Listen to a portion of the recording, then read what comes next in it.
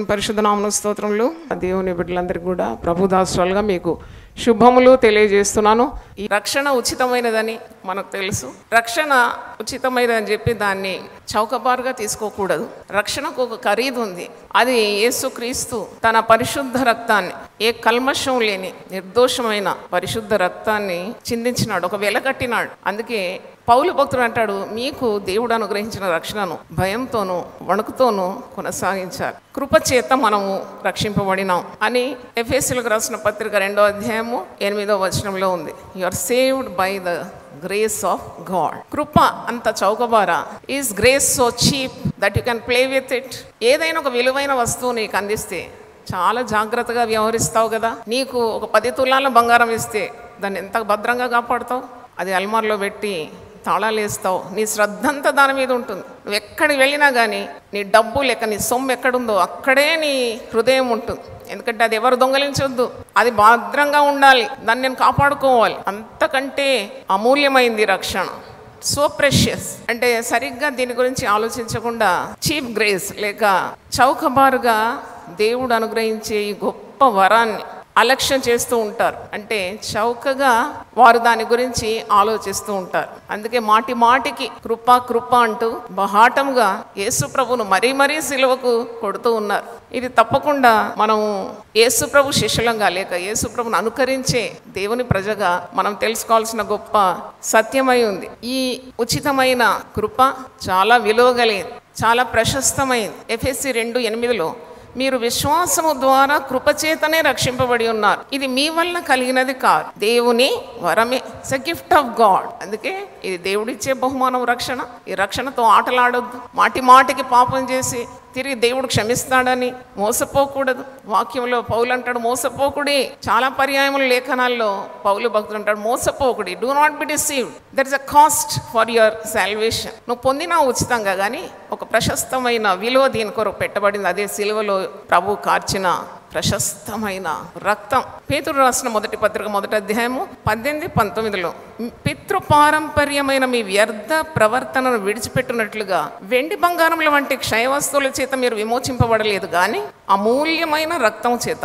అనగా నిర్దోషమును నిష్కళంకమునకు గొర్రెపిల్ల వంటి క్రీస్తు రక్తం చేత విమోచింపబడితేరని మీరు ఎరుగుదురు కదా మీకు తెలుసు కదా యేసు ప్రభు తన నిర్దోషము నిష్కళంకమైన గొర్రెపిల్ల వంటి క్రీస్తు రక్తం చేత మీరు విమోచింపబడినారు. Not by any material like gold or silver వెండి బంగారం ఇచ్చి నేను మిమ్మల్ని విమోచించుకోలేదు. తన ప్రాణం పెట్టినాడు. ఆ ప్రాణానికి ఎంతో విలువ ఉంది. తను కార్చిన రక్తానికి ఎంతో విలువ ఉంది. ఎందుకంటే తాను శిల్వ మీద చిందించిన రక్తం ద్వారా నేను విమోచించినాడు. ఆ రక్తము చాలా ప్రశస్తమైన గొర్రెపిల్ల వంటి అంటే మచ్చ ముడత డాగు కళంకము ఏ పాపం ఎరుగని యేసు ప్రభు పవిత్రమైన రక్తంతో మనం విమోచింపబడి ఉన్నాం అందుకే రక్షణ పొందిన నీవు యేసుప్రభు శిష్యరేఖానికి పిలువబడినావు. ఇది చాలా విలువైంది. నీవు నీకు అనుగ్రహించిన మార్గంలో చక్కగా నడుగుస్తే నీకు మేలు. Total commitment is a true discipleship అంటే అదే నిజమైన శిష్యరికం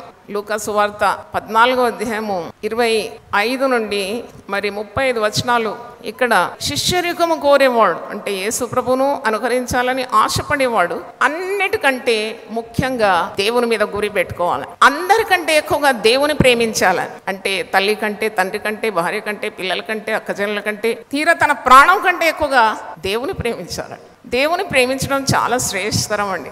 చాలా శ్రేష్టమైంది. When you love God you lack nothing నన్ను అడిగితే అంతకు మించిన జ్ఞానం ఈ లోకంలో లేదు. కానీ మనిషికి జ్ఞానము తక్కువ. వాడు సాధారణ స్వరాన్ని వింటాడు. అన్ని వెతుకుతాడు దేవుణ్ణి ఆఖరి పెట్టలో పడేస్తాడు. అందుకే వానికి ఎప్పుడు చింత చీకు కలవరము అనుమానము సందేహం. కానీ దేవుని గురిగా పెట్టుకున్నవాడు వాడు ఈ లోకంలో వచ్చే లోకంలో కూడా ధన్యుడైపోతాడు. దేవునికి స్తోత్రం. హాలెలూయ నీవు నిజమైన శిష్యరికపు పిలుపుకు నువ్వు చేయాల్సిందేంటి నీవు సగటు మనసుతో ప్రభువును వెంబడిస్తే దానివల్ల ఫలితం ఏమీ ఉండదు. ఎందుకంటే God loves a total committed heart. లూకాసు వార్త పద్నాలుగో అధ్యాయం ముప్పై నాలుగు చదువుతాం. ఉప్పు మంచిదే కానీ ఉప్పు నిస్సారం అయితే దేని వలన దానికి సారము కలుగును? అది భూమికైనను ఎరువుకైనను పనికిరాదు గనుక దానిని బయట పారవేయదు. వినుటకు చెవులు గలవాడు వినును గాక.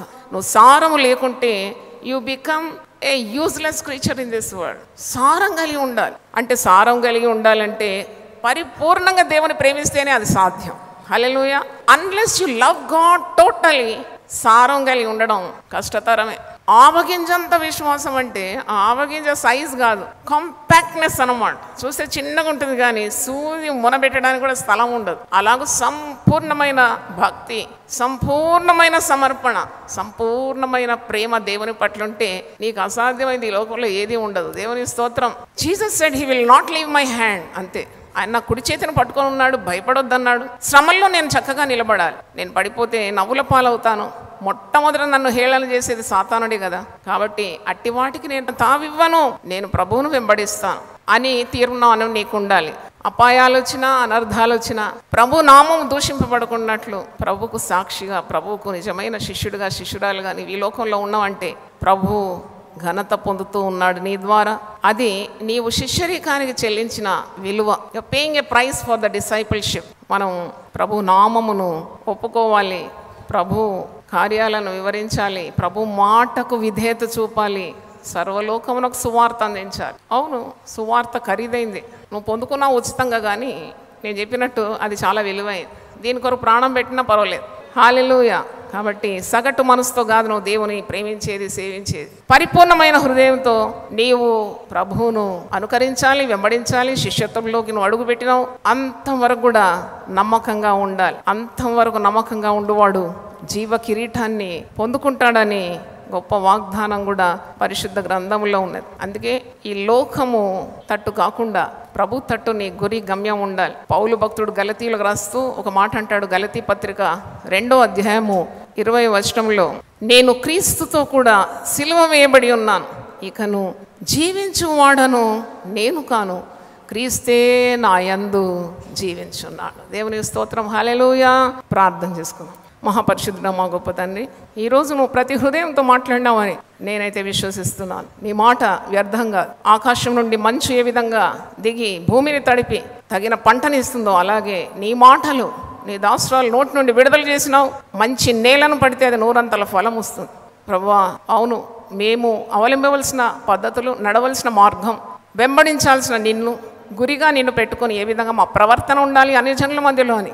నీకు ఇష్టానుసారమైన జీవితాన్ని ఏ విధంగా జీవించాలని? మాకు కొన్ని మాటలు పరిశుద్ధ గ్రంథం నుండి జ్ఞాపకం చేసిన దీనివల్ల ప్రజలందరూ కూడా ఆశీర్వదింపబడాలని. ఏసు పరిశుద్ధ నామంలో అడుగుతున్నాం తండ్రి. ఆమె రండి పాల్గొనండి ఆశీర్వదింపబడండి. సిలువను గూర్చిన వార్త నశించుచున్న వారికి వెర్రితనము కాని రక్షింపబడుచున్న మనకు దేవుని శక్తి.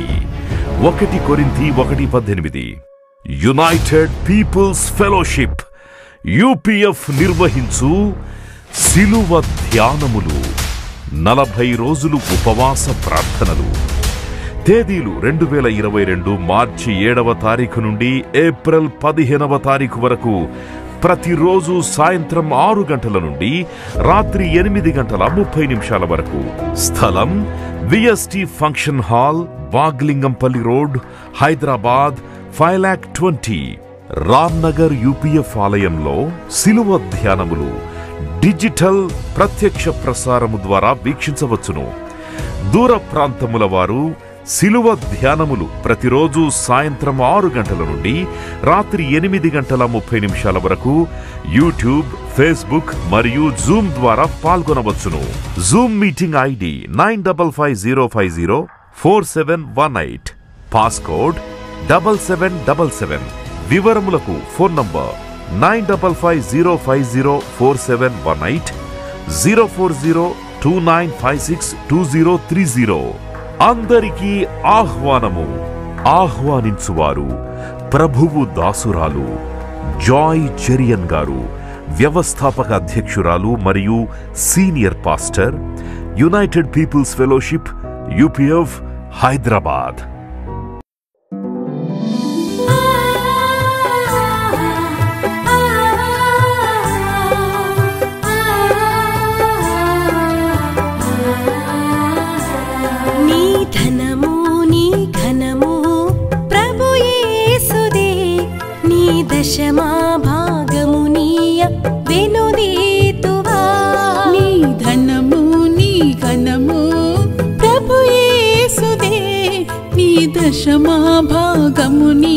Be